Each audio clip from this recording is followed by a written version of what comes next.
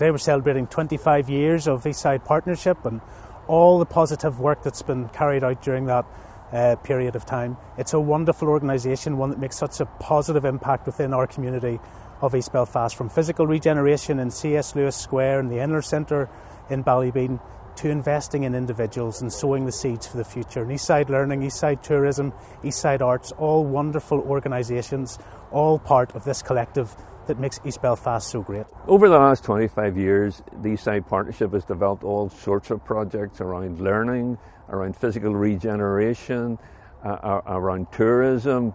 Those are just examples, but it has been very important for the people of East Belfast to see that they are contributing to the, the life of the city and that things are getting better in East Belfast. We're absolutely delighted to um, acknowledge 25 years of Eastside Partnership.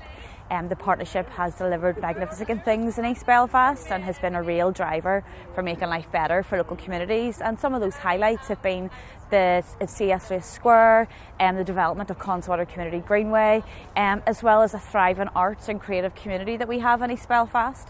And we continue to really work to address issues such as poverty and disadvantage um, by leading on an education strategy and our Scaffolding project as well.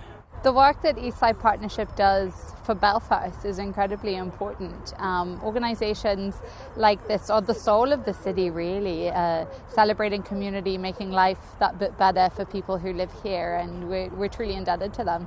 I'm absolutely delighted to build on the success of my colleagues at Eastside. Um, while there's been great development in the area, we recognise that um, there's still real issues that exist in inner East communities. Um, East Belfast does still face issues of multiple deprivation, so I'm really excited to build on a lot of the achievements to date um, and look to improve um, the physical environment of the local community. Um, East Belfast is a real driver for regeneration, not just locally but also across the city, and we're really passionate about a thriving Belfast city as well as a local area too. One of the things I think people don't realise is it's a very small team of very dedicated, hard-working, committed professional people who go over and above what you would expect of ordinary employees to actually do the work to make East Belfast. So I would like to congratulate them. It's a really great anniversary, and here's to the next 25 years. It's a wonderful milestone, and it couldn't have been reached without so many positive individuals who have given of their time and their professionalism over 25 years, from employees to volunteers. They've all made a huge impact in our community. I'm looking forward now to the next 25 years and what positive future we have. I'd like to say uh, to the team at Eastside Partnership, congratulations. Uh, thank you so much for everything you do, not just for East Belfast, but for the city as a whole. You should be really proud of yourselves.